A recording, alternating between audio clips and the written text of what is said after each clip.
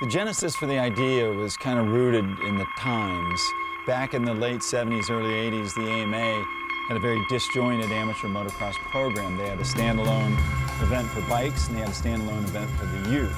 And uh, after seeing how disjointed and how dysfunctional the AMA system was, my dad came up with uh, an idea.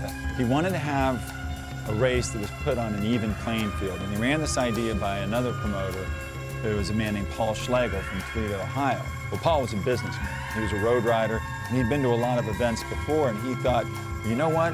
Why don't we put this thing together and put it right in the middle of the country and find a place, you know, that no one has been to and uh, someplace we'd go back every year.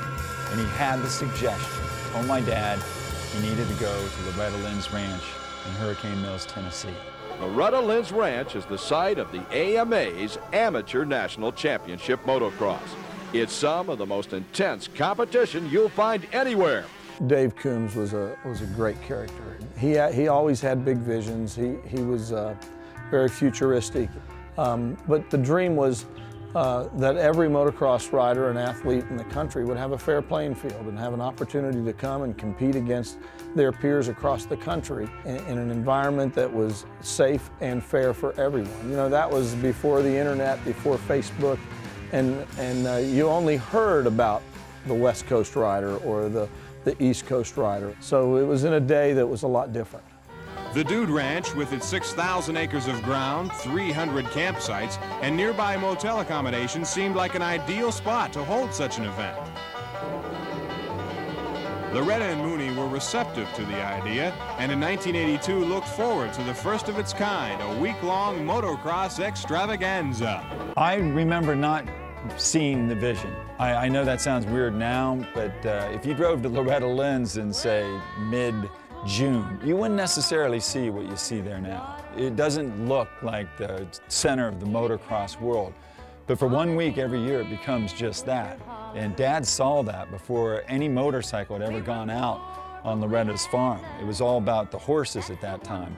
But he came up with an idea. He knew he had to have a track that was good, fair, and competitive for pee-wees as well as, you know, soon-to-be pros. It had to be competitive for girls as well as vet riders, and it had to last a whole week because, you know, he was dreaming big. He knew it was going to be a big race.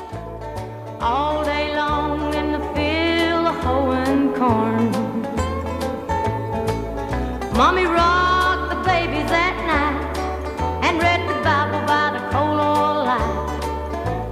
everything would start all over come break of morn. Daddy loved and raised their kids on a miner's pay. I was 20 years old, I guess, when I stepped on uh, on on the grounds, and and uh, I was a young announcer and couldn't believe that I was announcing at the, the national championships, and, and I got to meet Loretta Lynn that year. She had her big hair, and Mooney was there, Loretta's husband, in the Jeep, and, and I can remember the first time that I met them, and, and I was starstruck. I was absolutely starstruck. It'd be like meeting Taylor Swift right now. So it, was really, really an exciting time for me, and the racing was just amazing. You know, I don't know that we had full gates, I can't remember, but, but we all had a great time in the evenings you know, the after race activities and, and the what happened outside the fence were memories that will never go away. And it's all because of that Loretta Lynn uh, pilgrimage that we make every year. Hi folks, I'm Loretta Lynn, and if you're looking for a good old-fashioned fun-filled vacation, hey, I know just a spot. Some of the other events, I think, were, were more regional in scope, even though they were in the center of the country or uh, out in California or down in Florida. They kind of had a, a, seasonal vibe to them. With Loretta Lynn's, it was like the Little League World Series. I mean, it was like this sacred playing ground that no one could get on. The only way you could be there is to earn it. There was no motocross school. There was no private track rental. And I think that that really built a sense of fair play. It built a sense of a, an even playing field. And it's so good to be back remember that drive, that first drive down there that year with Dave Coombs, and and uh, uh, the track is is pretty much the same. You know, the starting line's in the same area, the track's a lot the same, uh, but that's the only thing that's the same. It's all grown up since then, and and the memories that have been made there are just priceless. There's there's no doubt. Dad had an idea. He stuck to it. Uh, he asked Loretta and Mooney and all the people at the ranch to believe in him. And, uh, and they did. And uh, when my dad died, uh, he died, ironically, on August 3rd, 1998. And that was the first day of Loretta Lynn's. Favorite event that I promote? Uh, it would probably be this one. I mean, it takes, this is a year-round job putting all this together. This event, um, I believe, meant everything to Dave Coombs. Uh, Dave did a lot of events and, and he had passion for every one of them, but I think this event was very special.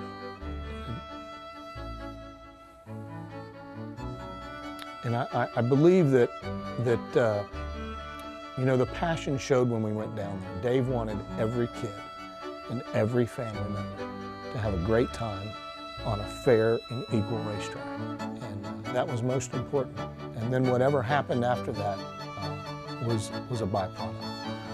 You know, the sponsorship that you see now, the Thor Tower, and, and the after-hour activities were, were, were just a byproduct of some great vision that, that Dave and Rita and Paul had, and he instilled in us. We didn't stop everything and have a funeral.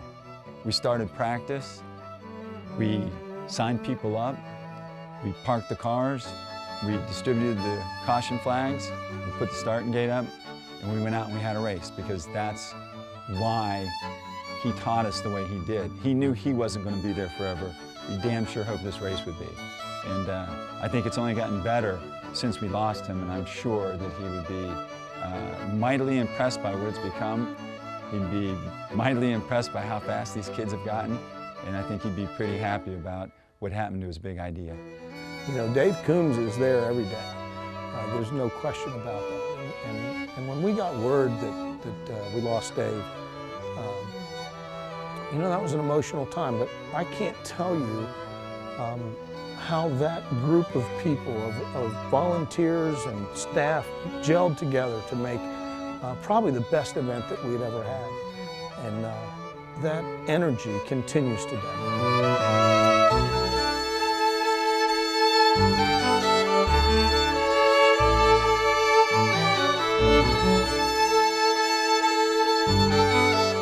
Amateur motocross in America has changed a great deal from the pre-Loretta Lynn's days, and even the early Loretta Lynn's days. This is a big business now. You look at the size of the, the motor homes, the size of the amateur support teams, the size of the websites and the magazines. Uh, it, it, it's, it's changed a lot. But I like to remind people that the essence of Loretta Lynn's has not changed. It's still an even playing field. It's still three motos. It's still an opportunity to compete all week long when you get there. And when you show up, it's the most important race you've ever been in because it's the one that everyone's watching. The riders that are coming here this year, uh, they're, they're going to come onto that starting line with their eyes as big as silver dollars. And they're going to look to the left and to the right and see 41 other of the best athletes in the world uh, race against them. It just doesn't get any better than that. Over the years, we've seen so many can't miss kids that didn't miss. You know, Kevin Windham didn't lose a moto at Loretta Lynn's for four years. That's like, you know, 20 some motos. James Stewart, Robbie Reynard, uh, Charlie Bogart. Um, I think that uh, Ricky Carmichael was the one though that uh, really opened some eyes because, you know, Ricky wasn't exactly the most perfectly fit athlete as a, as a boy. He was a little chunky, he was a little chubby, he, he, he seemed almost bratish sometimes, but man, he had this look in his eye and he had this desire. And when you'd see him on the motorcycle, you'd forget about, you know, anything and just drop what you're doing, run to the side of the fence, and watch this little kid in the fox gear on Team Green Kawasaki go rip that place apart. Hanging on a shelf in good health and good time. One of my fondest memories of Loretta Lynn's, and, and I can't even tell you who it was. I don't even know what color motorcycle they were on. Um, but it's that moment, and it happens every year. It's that moment in the third moto. The son or daughter crosses that finish line, and, and they've done well. Um, you know, they may not have won the race. They may not have made the top 10, but, but they did well. And, and you can see that the, the dad or the mom running, literally running across that starting line to get over to that impound area. And, and son or daughter is just drenched in sweat and they've laid it all on the line and, and you know, they embrace. And they're kissing each other, they're hugging each other. And to me, that is just, I mean, that's, you never forget that. If you're a motocross rider growing up in America, Loretta Lynn's becomes a part of the fabric of your life, part of your whole family's life. You know, this is that one week of the year we all come together, you, you compete as a family, you compete amongst friends, and uh, you know, it's your, it's your summer vacation, it's your summer camp, it's the biggest race of your life, and you know, for a lot of people, uh, it doesn't get much bigger than the ranch. And, and because of that, I think it remains a, a very special place for American motocross, and uh, I think the best years are ahead of us.